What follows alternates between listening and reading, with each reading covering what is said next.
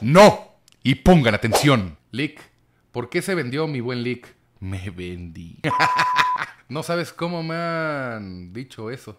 Y para venderme, pues hubiera tenido yo que estar en venta. Pero si yo, yo fui ahí y yo traté y yo platiqué, ¿en qué momento vendí algo? A ver, nada más lo voy a aclarar. Les dije, yo fui a platicar con ellos y muchos de los asuntos que ustedes me han hecho ver, que les gustaría que a lo mejor fueran ya legales o situaciones de apoyo, lo investigué perfectamente en los partidos. Y este confabula perfecto, por ejemplo, lo que les decía, lo de las 40 horas laborales, por ejemplo. Hace año y medio empezaron con eso. Precisamente la bancada naranja estaba dentro de esa discusión que luego no sé cómo le torcieron el asunto en TikTok, que empezaron a decir, los de la bancada naranja son los que están pausando lo de la reforma laboral de las 40 horas. Bueno, pues me meto a investigar y ¿qué es el asunto de las 40 horas? Sí, efectivamente México es de los países que más horas labora a la semana. Entonces, algunos otros países han logrado la reducción de la jornada laboral a 40. Aquí la proponen y la pasan a la Cámara de Diputados pasan el dictamen y luego le echan para atrás porque se dan cuenta que, ey, ey, ey, esa bronca se tiene que discutir primero en comisiones. Se arma una comisión con representantes del partido y de los demás. Y entonces se discute. No es de que pasan fast track, así, aviéntala ahí a ver qué pasa. Porque, a ver, cuáles son las consecuencias, por qué viene el diagnóstico, cómo se hizo en otros países y lo podemos llevar a cabo. Pero no, como hicieron todo con las patas, se atoran y regresa dictamen. Entonces se comen ese periodo de sesiones, el segundo periodo del 2022, y dicen, no, para el 2023 vemos. Ok. Y a mí me empiezan a preguntar, ¿Elic ya se aprobó? Y yo, ¿en qué momento? ¿En qué noticia o dónde dijeron? Pues hay personitas que mueven los medios y dicen, en el Congreso la iniciativa de las 40 horas va viento en popa. Fuéramos barco. Le digo, a ver. Pues no pasa en el 2022, porque pues, había que discutirlo primero en las comisiones. Ya para el otro año se hace la comisión y se quedan acá como que no pasa nada y no discute nada. Va el segundo periodo de sesiones del 2023 que empezó en, agosto empezó. Y la gente empieza, ¡Ey! Lo de las 40 horas. Pues tampoco. Y eso que yo sin estar allá, ¿eh? Yo de acá desde Tampico nomás leyendo, digo, ¡qué desmadre! Pero pues hicieron güeyes, eh, la persona que estaba llevando a cabo la iniciativa, de repente levantó la mano, era una persona de morena. Le dijeron, no, güey, cállate, ya, pero pues el chiste es que nada. Y dicen, no, para el otro periodo, el del 2024. El presente. ¿Qué pasó? Les digo qué pasó. La realidad. Desde comisiones dicen que no pase al pleno para la discusión. ¿Por qué? Porque el presidente dijo, no, no, no, eso está muy politizado. Después de las elecciones. Y tú después de las elecciones ya no vas a estar ahí. Sí, o sea, ¿quién? Ah, porque entonces hay que votar otra vez por el partido que en seis años no lo hizo para que nos convenza de que en el próximo sí, sí gana. ¡Ah! ¡Genios! Y esa, y, y, dónde quedó la Mary Jane? ¿Y dónde quedó el aguinaldo también? Y todas esas que empezaron a usar al más puro estilo de la vieja política. Increíble, ¿eh? A la vieja política pura. La de te prometo, pero te digo que sí, pero no te digo cuándo. No, no les dijeron nada. Entonces, ahora veo que ayer sale la candidata de ese partido, y dice, yo les prometo, les prometo, que si votan por mí, lo analizamos 50 años, medio siglo con ese rollo de vamos a bajar la jornada laboral y siguen vendiendo el mismo cochino y podrido atole. Está bien cabrón. Porque aparte de lo que hicieron, la iniciativa estuvo pues mal formada desde un principio. ¿Por qué? Porque les voy a decir qué pasó en los otros países. En Chile ya entra en vigor, ¿eh?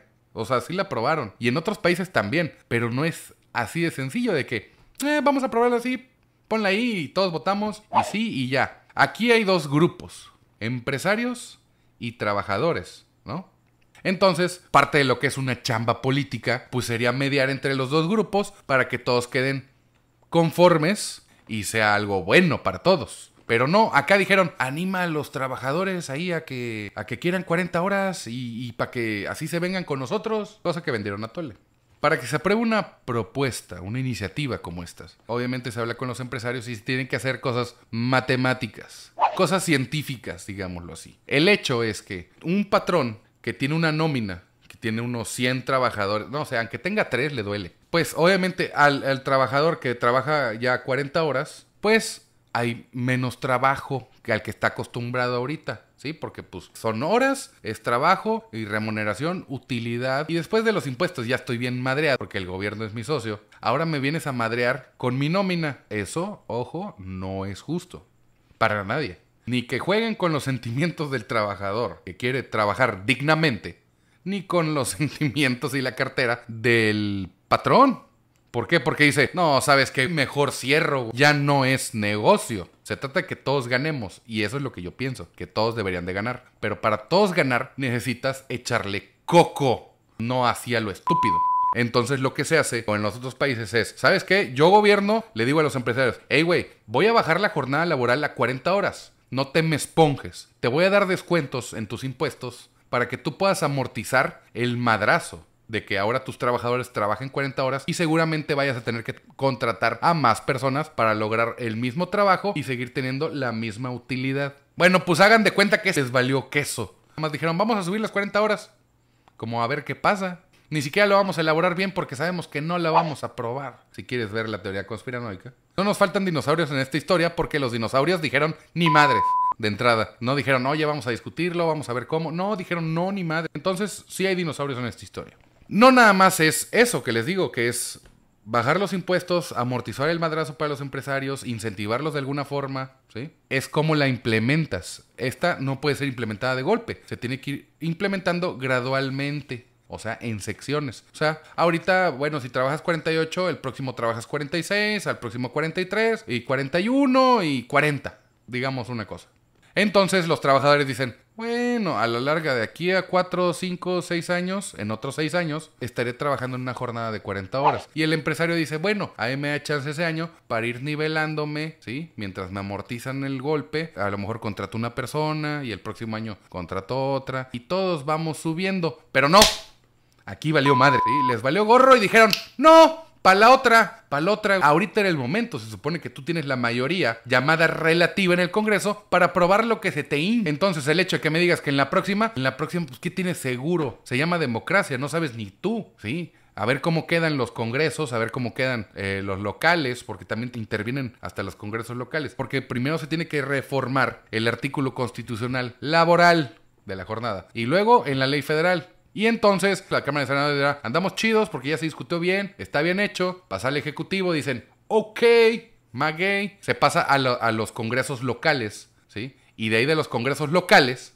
si se obtienen la mínima de 17, 17 congresos, pues ya podemos pasar a publicarla en el diario oficial de la federación y que inicie su vigencia. Pero no, y esa es una triste historia. Entonces yo hoy lo platico con los compas naranjas, los está con Maines. Me dice, güey, yo, yo soy también de los que la, impulsó. Entonces le dije, pues yo lo meto de propuesta. Jala. 40 horas laborales. Y otros me empezaron a decir hoy, populista y yo, cabrón, ¿de qué tiene populista? En un chingo de países ya tienen la jornada laboral más abajo. ¿Por qué aquí no? ¿Por qué aquí no? Porque no te pudiste conciliar con los empresarios. Porque la pasaron a la ahí va, a ver qué pasa. Y las cosas mal hechas no sirven. Las cosas se deben de hacer bien, con calidad. Yo voy por eso. Y ya. Porque me enojo. No. Y pongan atención.